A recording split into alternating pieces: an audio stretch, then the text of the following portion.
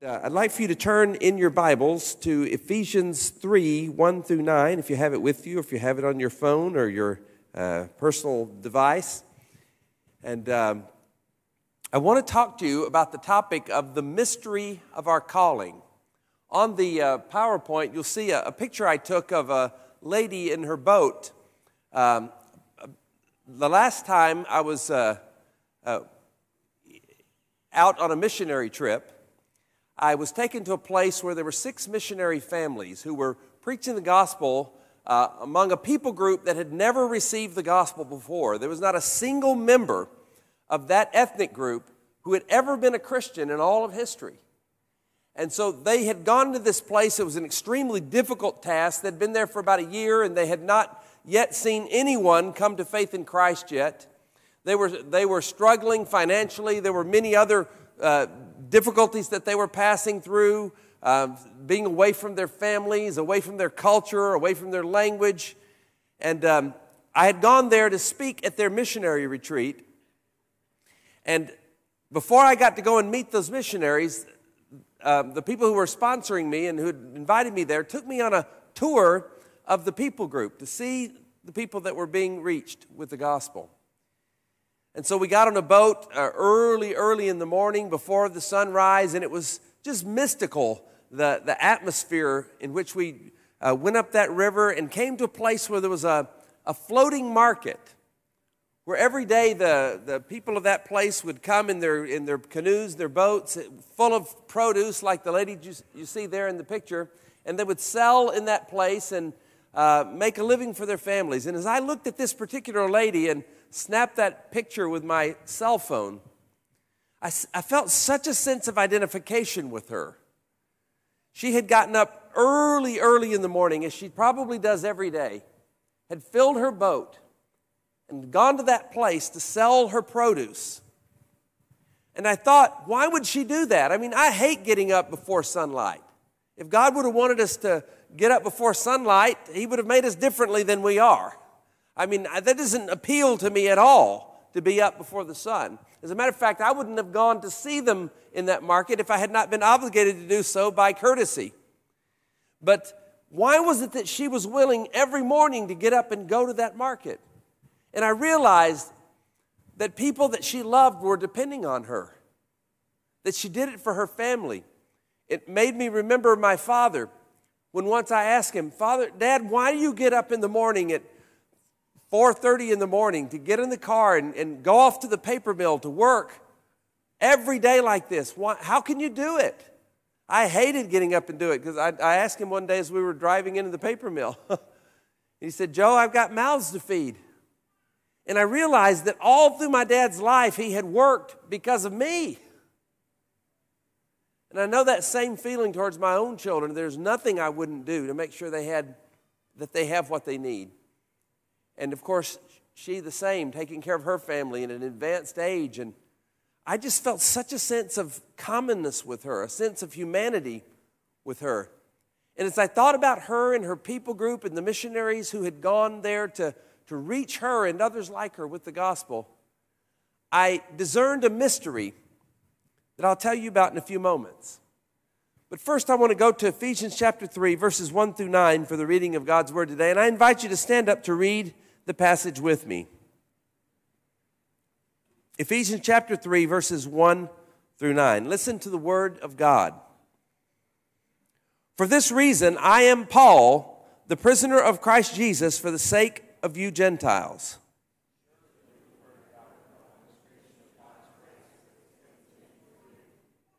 That is the mystery made known to me by revelation, as I have already written briefly.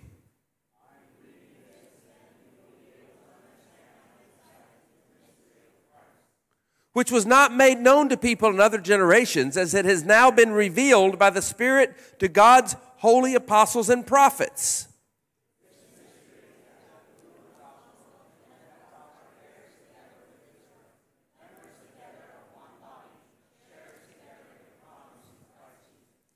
I became a servant of this gospel by the gift of God's grace given me through the working of his power.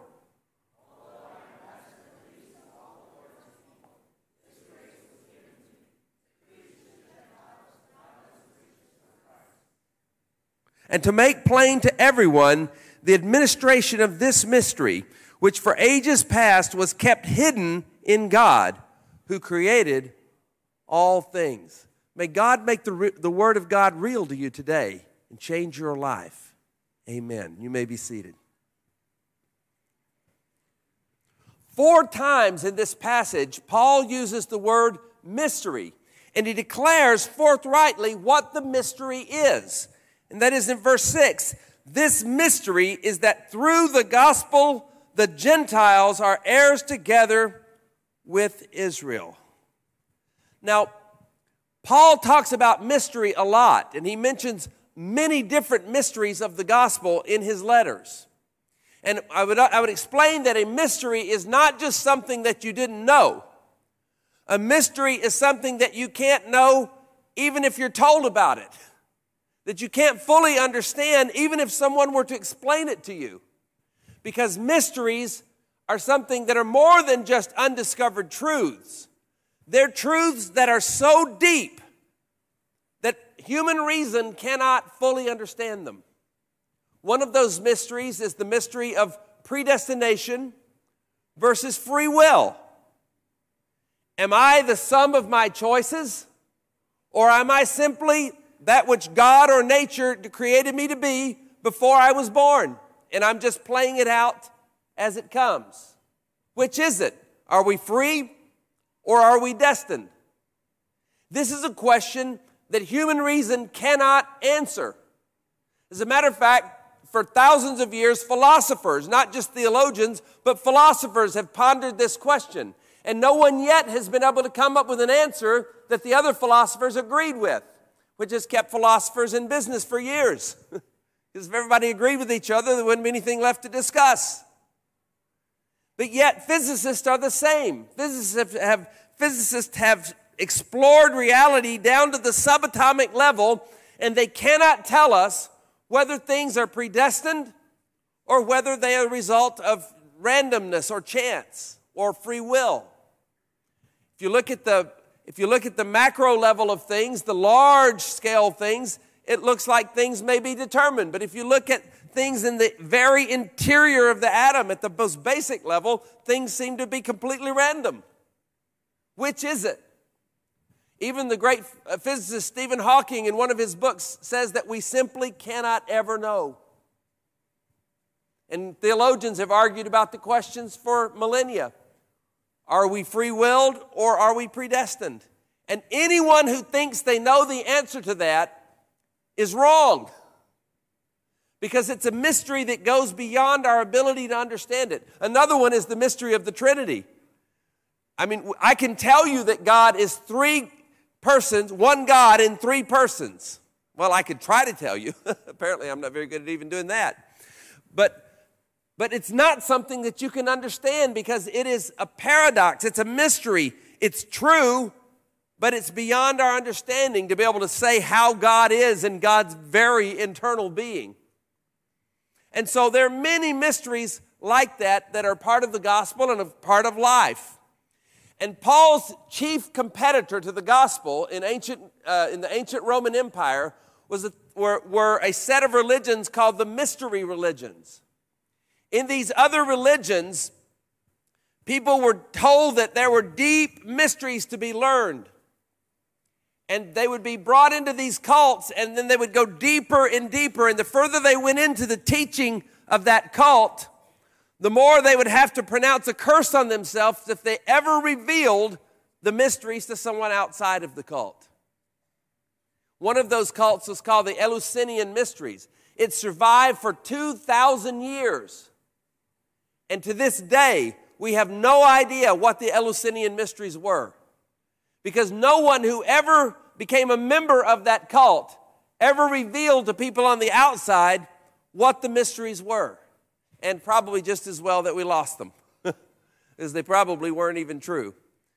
But the, the reality is that the nature of religion around Paul was to guard mysteries very closely and only let the mysteries be known to people who were deeply committed to those cults. In contrast to them, Paul declares the mysteries of God openly to anyone who will listen. And he declares many of them in his teachings. He declares the mystical union of Christ and the church. He says that Christ and the church are like a husband and his wife who come together and become one flesh. In that same way, the church will become one flesh with Christ, and that's a great mystery. And I don't have time to talk about that today. Or our instant transformation when Jesus comes. In 1 Corinthians 15, Paul says, Behold, I declare to you a mystery. We will all be changed in the twinkling of an eye. And I can't wait for that mystery to become real in my life because I'm getting tired of being in an old body. I'm just now beginning to enter into my old age at 56, and I'm feeling it. I'm already looking forward to a glorified body. I can't wait for that mystery to become true in my life. Uh, my best days are gone physically. I've got another 20 good years or so in me, and then maybe some more, who knows.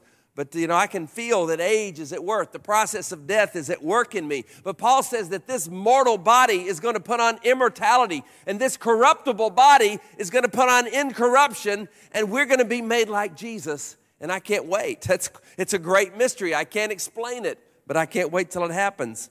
Paul talks about the unity of all things in heaven and on earth in Christ. He talks about the mystery of our salvation on the cross. He says that if the rulers of this age would have understood God's mystery, they never would have crucified the Lord of glory.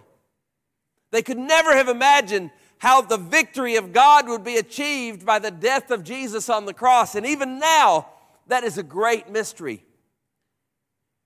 And then Paul talks about the gift of tongues how Christians are given an ability through the Holy Spirit to pray in their spirits without their minds understanding what they're saying. I've been speaking in tongues for more than 40 years, and I can tell you that when I do it, I don't know what I'm saying. I don't know how it works. I've seen it work. I've been in places where I listen to people speaking English to me and then talk to them later, and they, they don't know any English. By the power of the Holy Spirit, they were speaking English. I can tell you what they said. It was beautiful. But they didn't know what they were saying. It's a great mystery. We don't know how it works, yet it is edifying to us and good. And Paul talks about lots of mysteries in his Gospels and in his epistles, but the one that he mentions the most is the one he talks about here. In, in four different occasions, Paul talks about the mystery of the inclusion of the Gentiles together with Israel in God's plan of salvation.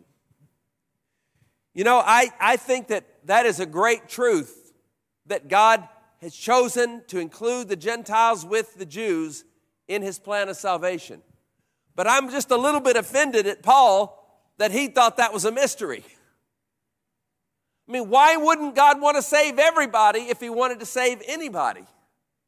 I mean, I'm a Gentile. I happen to be a Gentile who greatly admires the Jewish people. I spend a lot of my time with Jews. I've been involved in Christian Jewish dialogue for more than a decade. I, I, I love the Jewish people. I'm impressed by their accomplishments in the world, but I am not one of them. I can prove genealogically that I don't have any Jewish blood in me, none. But yet, why would God want to save the Jews and not us? I mean, I've read the Old Testament. I've been around Jewish friends. They're definitely as fallible as I am. They're definitely as touched by sin as I am. What was special about them that they should be saved and others not? Well, that seems pretty obvious to me. It probably seems pretty obvious to you. Uh, you know, it's on one hand, though, you can say that Gentiles deserve to be saved as much as Jews do, but that isn't very meaningful when you consider that none of us deserve to be saved at all. That's, to me, the great mystery. Not that God would save the Jews and not the Gentiles, but that God would save anybody. That seems to me a real mystery. You know, as hard as I've tried to be a good person all through my life, when I think about my worst moments, I wouldn't have saved me. Yet God has chosen to pour out His grace on all of us. That seems to me pretty simple. But Paul thought it was an amazing mystery. I, apparently, he's understanding it at a different level than I am. But one of the things that made it such a great mystery was to, to Paul was the fact that God had chosen him to be the apostle to the Gentiles. He says this Although I am the least of all the Lord's people, this grace was given me to preach to the Gentiles the boundless riches of Christ and to make plain to everyone the administration of this mystery. For Paul, the most amazing thing about the salvation of the Gentiles was that he should have anything to do with it. Why is that? It's because Paul was the arch Jewish nationalist. He didn't like Gentiles, and it was an odd thing to him to think that God would want to save the enemy of his people. We know that Paul was born in the, Greek, in the Roman Empire in the city of Tarsus. His family, which were, who were tent makers, apparently left the Holy Land, left Jerusalem, and went off as immigrants to another land. How many of you can, can identify with that? That for economic reasons and opportunity, you have left your, the place where you're born or the place maybe that your father was born and gone to a new land. They did that, and they were in Tarsus for a while, but something went wrong in Tarsus. And they returned to Jerusalem. The book of Acts, in, in the book of Acts, Paul tells us that he, as a child, returned to Jerusalem and there began to study Judaism under Gamaliel, the rabbi. And as he studied Judaism more and more, he became more and more committed to Jewish exceptionalism, that the Jews were God's only special people. And the idea that Gentiles should be included in that seemed very difficult to him. Why? I thought about this and I wonder if Paul's family didn't suffer the same anti immigrant bias that many people suffer in the world today. Last, uh, last fall, I published a book called The New Pilgrims How Immigrants Are Renewing America's Faith and Values. And it's a book in defense of immigrant people in the United States because in the United States there has been a huge anti immigrant wave going through our politics. And I could see that coming. I knew it was going to be important in the presidential election. And so a year earlier, I had written this book to defend immigrants in the United States. And as I studied the phenomenon more and more, and as I talked to more and more people, I realized the terrible persecution, the terrible experiences that many immigrant people have had. And I think perhaps Paul's family had suffered that in Tarsus. Because of that reason, perhaps Paul didn't like Gentiles very much. When Christians began to preach a gospel of salvation in Jesus Christ and began to go to other countries to preach it, Paul was greatly offended. He was offended because of the fact that, according to his way of thinking, Jesus had died under the curse of the law because the law says, Cursed is everyone who hangs on a tree. For him, Jesus had obviously been cursed by God in dying such a death. But these Christians were saying that Jesus had been raised from the dead by God. And that didn't make any sense to Paul. How could God vindicate someone who was under the curse of God, under the curse of the law, the law of Moses, the law that God had given Israel? It didn't make sense to Paul. It, it continued to be a mystery to him for the rest of his life. So he'll write about it over and over in his epistles.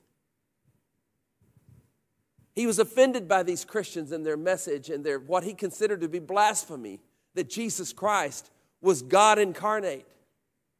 And so he began to persecute them, and that's why he said that he was the least of all God's people because he had been complicit in the murder of Christians. He had gone off to foreign countries to bring them back prisoners to Jerusalem. Yet on his way to Damascus, for that very reason, Jesus appeared to him in person, in all of his glory. Paul was struck down to the ground, and as he lay on the ground, blinded by the glory of Jesus, Jesus called him to be the apostle to the Gentiles. That was a great, great mystery to Paul. It's one he would never get over. That God would call him a hater of Gentiles to be the apostle to the Gentiles. You know, as I was thinking about my own sense of offense over Paul's wonder that Gentiles could be saved, wasn't long before the finger I was, was, was pointing at Paul was canceled out by the three fingers that were pointing at me. Because I began to think of my own life and the mystery of God in it. I was born in 1960 in the town of Demopolis, Alabama.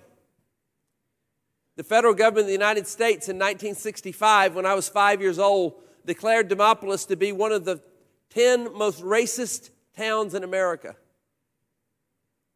My family lived there, a typical southern white family. My parents would have said that they didn't hate black people, they just believed that they were superior to them which to a lot of black people felt like hatred for some reason. Perhaps you could figure it out. My parents didn't want to associate with black people. They certainly didn't want me to go to school with black people. They feared that if I went to school with black people that violence would break out, that I would be hurt. They feared that I might be, become like the black people if I hung out with them that I might be influenced by their culture, that I might give up the superiority that was mine by race. And even as I tell you about these things, uh, it's a shameful thing to talk about. When I was six and seven years old, my, fa- my, my town was still fighting against the integration of our schools. In 1954, the Supreme Court of the United States had ruled in the case Brown versus Board of Education that separated schools, segregated schools, were illegal. Yet for 15 more years, my town resisted the law and refused to integrate its schools. When I was six and seven years old, I remember going door to door with a petition, getting people to sign the petition so that I would not have to go to an integrated school. I sometimes say that I was a child racist activist.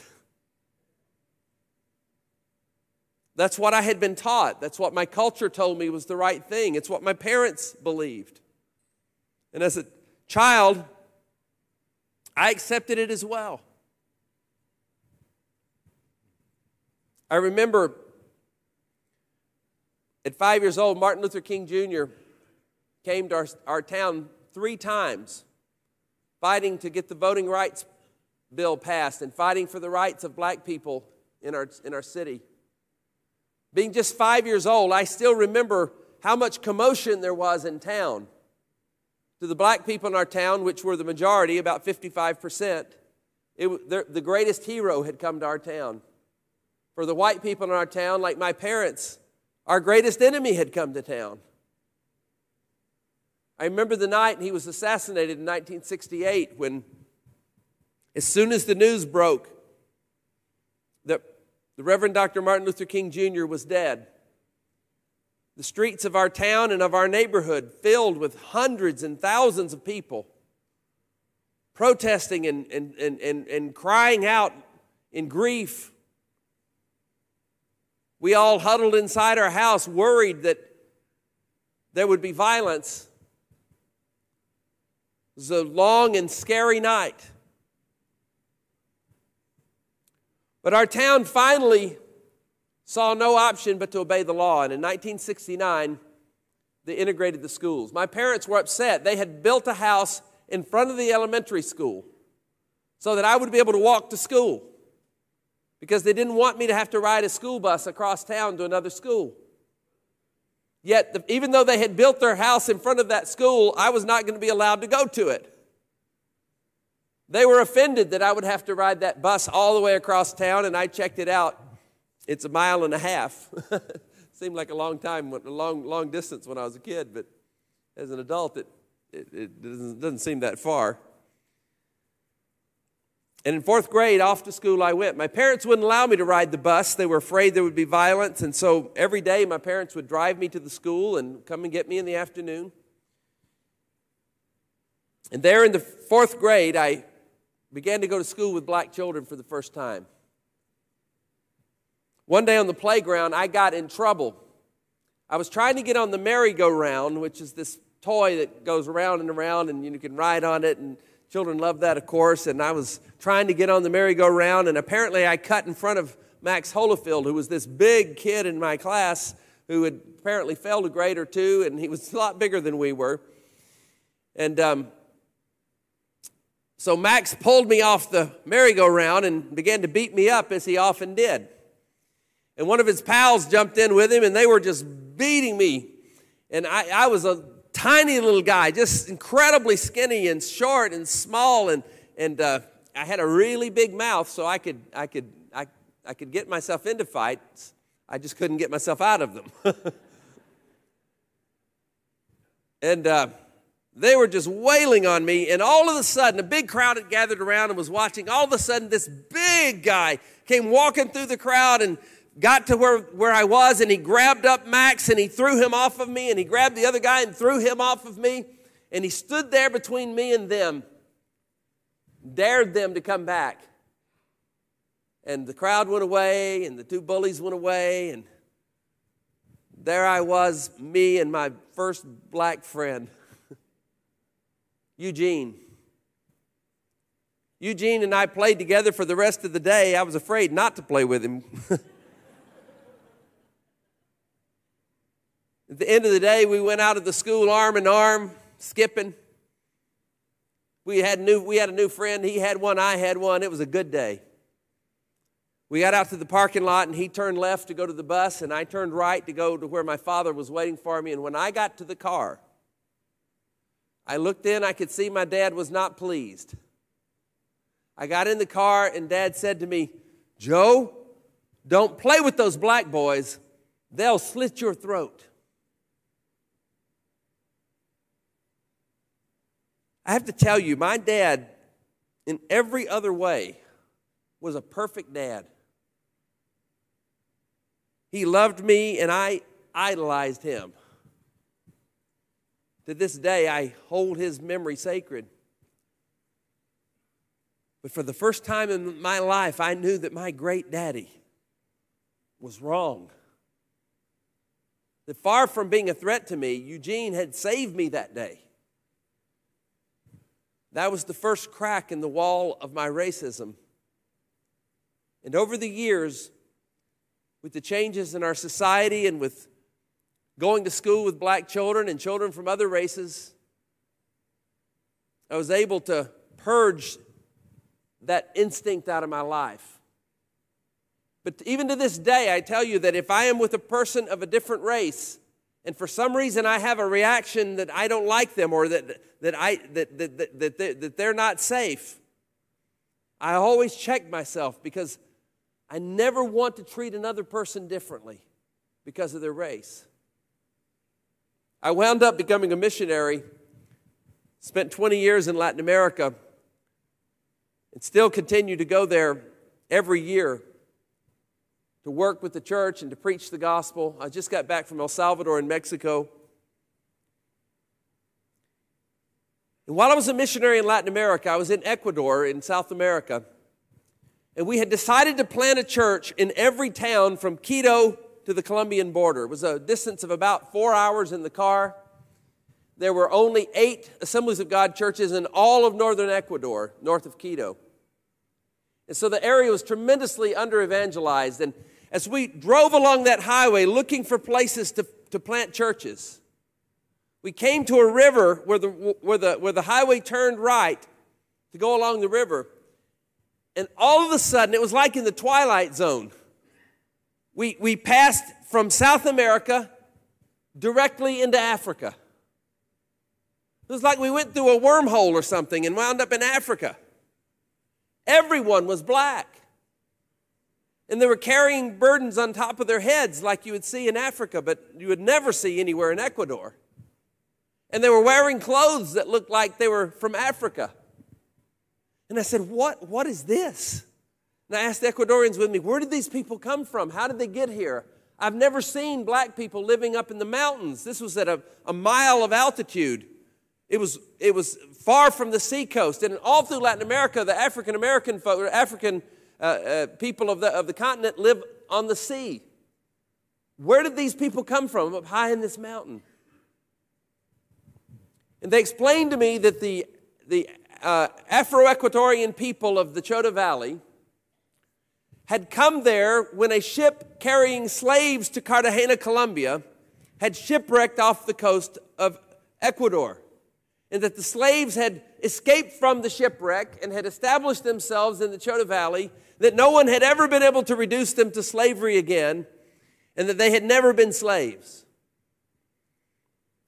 Well, that sounded really romantic and everything, and I wanted to know more about it, and so I began to consult with the history books to find out more about the, the Chota Valley people.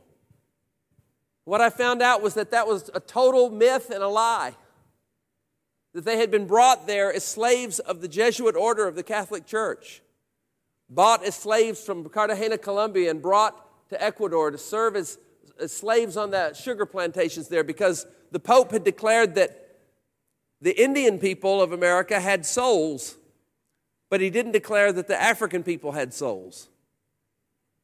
And since the African people didn't have souls, according to the Pope, or at least according to the silence, they could be enslaved. They served in slavery from 1590 to 1851, and then slavery was, repeat, was re- replaced by debt peonage, and they lived in horrendous squalor and poverty for another 120 years until 1974, when finally the, the, the, the big farms were broken up and property was given to the people and they were set free. But yet they lived in tremendous poverty. And worst of all, the gospel had never been preached to their people group.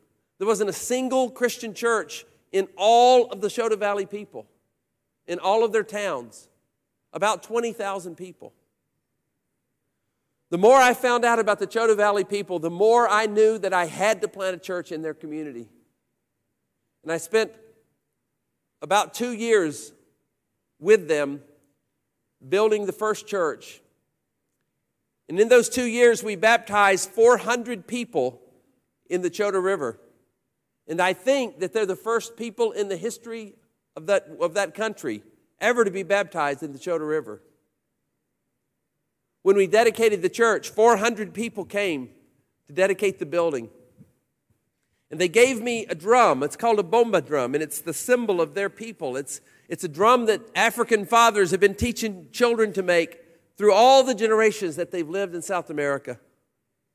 And on that drum, it said, To the one who with love and patience and tenacity brought us the gospel of Jesus Christ for the first time.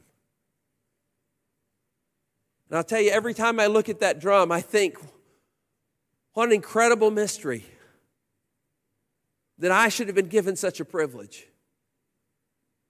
who, having begun life as a racist, having begun life as a person who considered himself superior to black people, should be allowed by God to stoop down and serve. I think about all the effort that we put out, and I think of all the time that we were there, the people that we met, and the friends that we made. And now, 20 years later, I think of the faithfulness of those believers who kept the church moving. And I think that this is the greatest honor I could have ever had in my life. Maybe I do understand a little bit Paul's sense of mystery.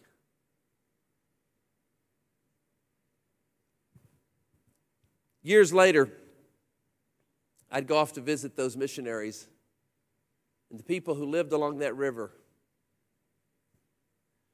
when I got the opportunity to preach to those missionaries, I, ch- I selected this text that we just read.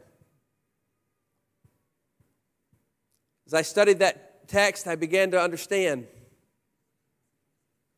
the mystery that they were going to learn. As I talked to them, I told them that even though they had not, never made a convert yet in the first year that they had been there, though none of the people had yet accepted Christ, that the Bible itself prophesies that people from that group will be saved.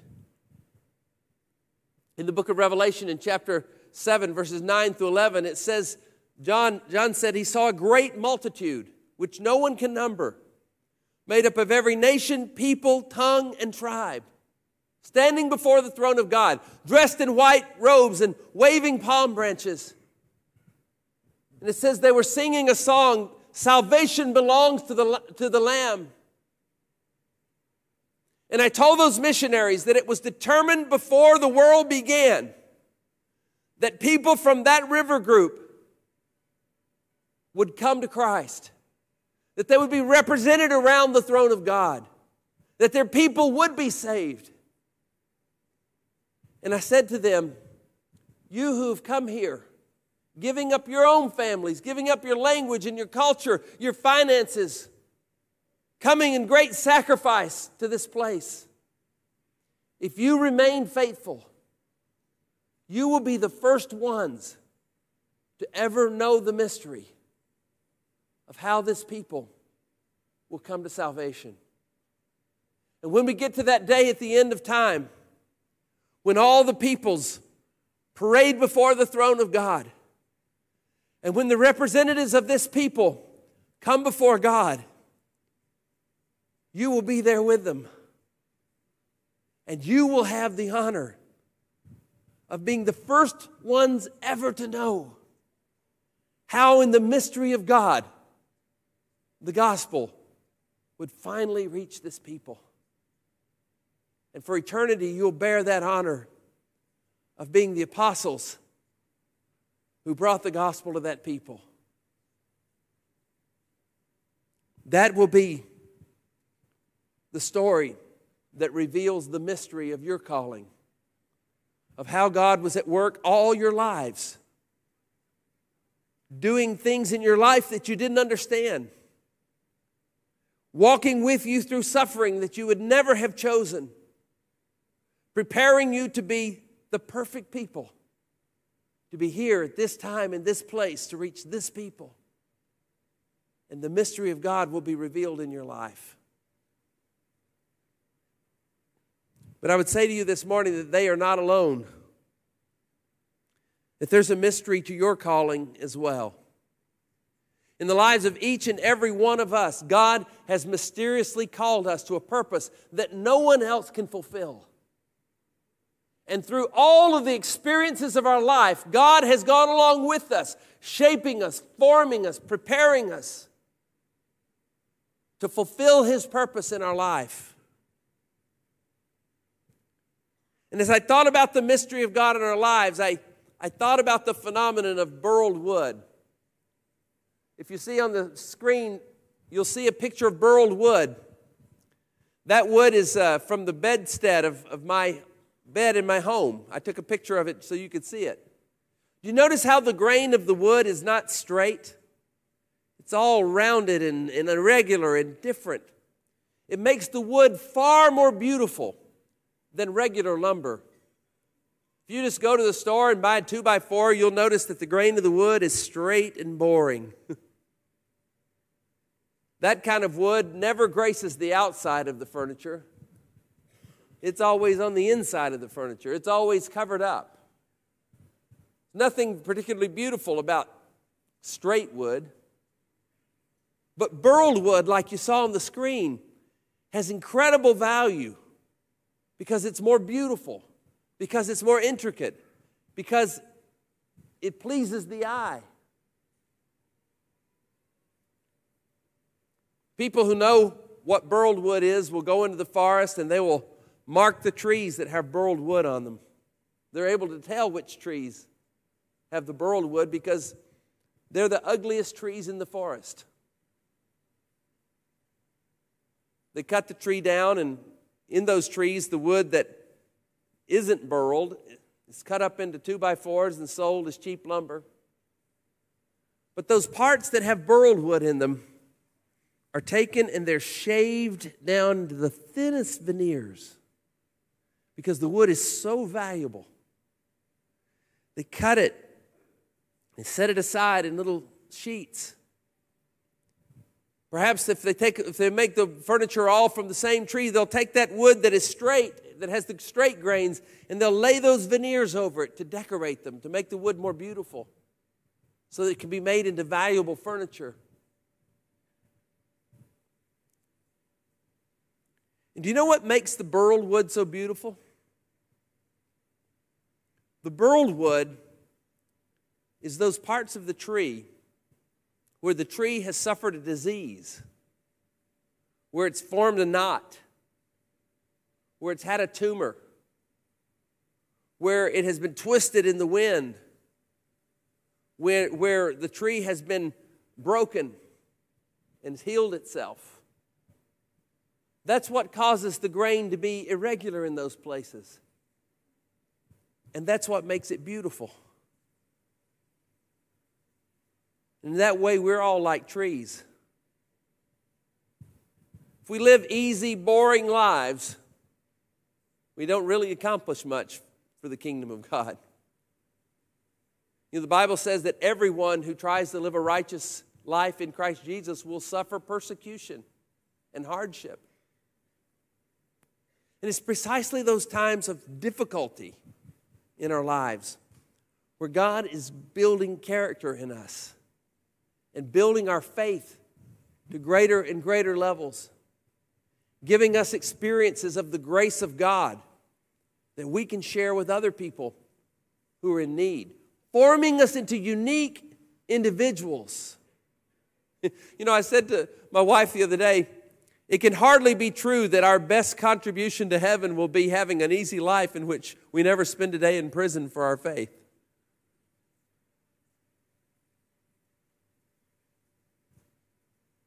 None of us go looking for trouble.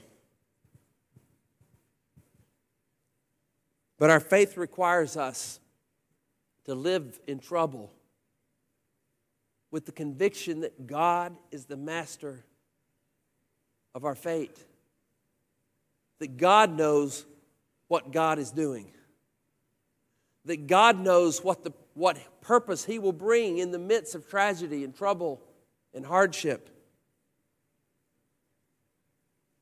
A few moments ago, I was telling you about the greatest shame of my life the shame that I had been a child racist. Yet, that greatest shame of my life, God chose convert into the greatest honor that I ever experienced.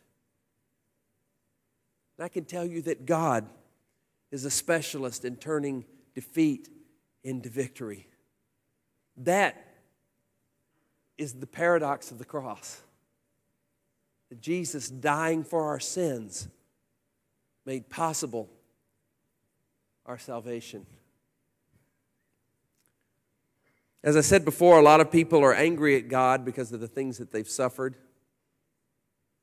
They don't understand why God would allow them to go through so many things, why they had to lose their father or mother, why their marriage didn't succeed, why their child died at an early age, why tragedy struck, why they suffered a disease, why they failed at the thing they wanted to achieve. Sometimes people, rather than facing those things by turning to God, will turn away from God. And I want to say to you that Jesus, when he died on the cross, bore on himself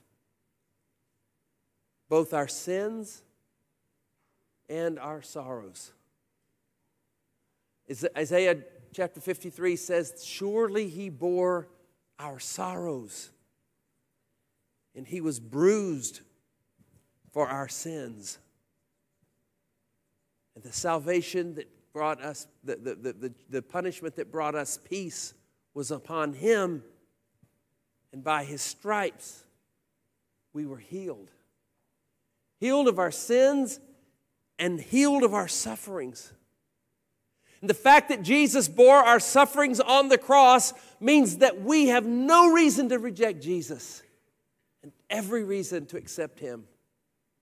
The fact that Jesus bore our sins on the cross means that God has no reason to reject us. The penalty of our sins has been paid.